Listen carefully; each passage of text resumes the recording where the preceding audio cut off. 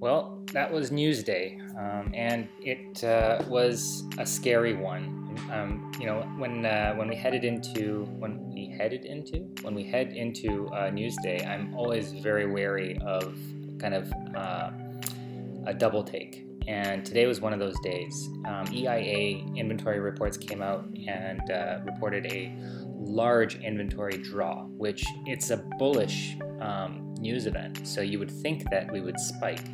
And the immediate move was up, as you can see here, but ultimately it turned around just below 46 and a half and just dropped. Um, we it looked like we were going to 45 even, um, but it really only got to I think 45.12 and then started its climb back up, and we almost made it right back to 46, unbelievably. Um, so ahead of news, um, because I was bearish and just like um, I said I would do this morning, if we made it above 46, I said I was going to add to my shorts, and that's exactly what I did. So at 46.13, um, I added to my shorts, which was uh, right here. Um, so we climbed higher um, right before news. Um, I just didn't want to wait until the last minute to to uh, have my order executed because you, you never know. Um, we were flirting with 46, so 46.13 at the time seemed really good.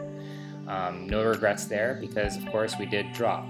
Um, we dropped to uh, near 45, like I said, um, and my expectation was that we were going to test this for at least a little while. And my hope was that we were actually going to go and revisit 44. I was expecting a much larger drop today. Um, instead, the Bulls were hanging on for dear life and brought us back up to 46. Um, I basically waited out the entire day and uh, decided to ultimately sell at a quarter to four. So a little over, uh, a little under half an hour ago. It, the time now is uh, quarter, almost quarter past four. So 15 minutes after North American markets or East U.S. East Coast markets have closed.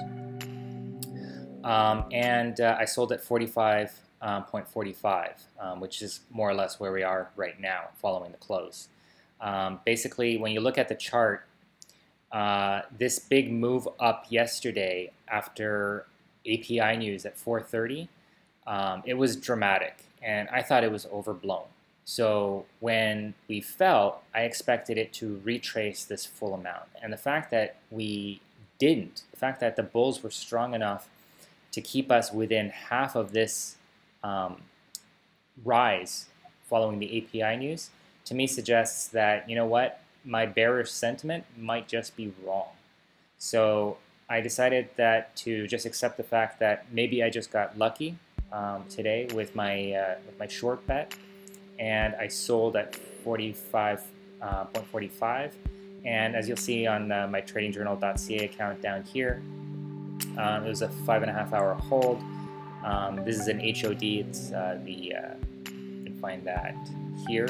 Um, it's the Beta Crude um, Oil ETF. It's a 2x ETF, um, and uh, the return was 3.03% uh, or just about 400 bucks um, on a hundred thousand dollar portfolio. it was a very small position. Uh, I should actually explain that. So I typically bet about 20% to 25% on a position.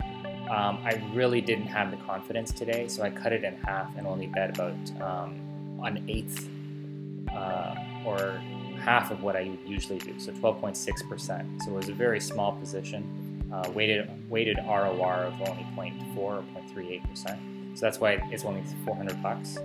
Um, but you know what? I mean, 400 bucks is 400 bucks. Um, I'll take that any day and every day, right? So yeah, you know, I still think that we are going uh, lower. Uh, that's that's my feeling, but I have to accept the fact that you know I've been pretty wrong this week. So I'm just going to return to my you know proven rules. And when I'm being offered a three percent profit on a position, the smart play is to take it.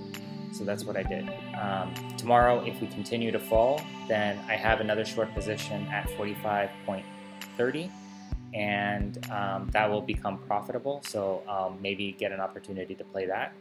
And instead, if I'm wrong and we head right back up, then I'll have that money available again, including the new profits, um, to play short on that rally um, because for the time being, I'm going to remain bearish if we're climbing. Um, we're kind of in the middle of what I see as kind of our range for the summer. So higher than where we are now, I'm buying short, and lower than where we are now, I'm buying long. Um, and I'm going to just play that that range. So yeah, I'm, I'm glad that I returned to my rules. It feels right, and regardless of what happens tomorrow, up or down, I think this was the right move. I'd love to hear what you guys did, and if you were able to benefit from some of the volatility that we had intraday, um, hit me up down below on uh, YouTube. Um, use the comment form, or uh, over on TradingJournal.ca where you can find more info on my trades and portfolio. Um, and otherwise, I'll touch base with you guys tomorrow morning before trading at 9 a.m. Cheers.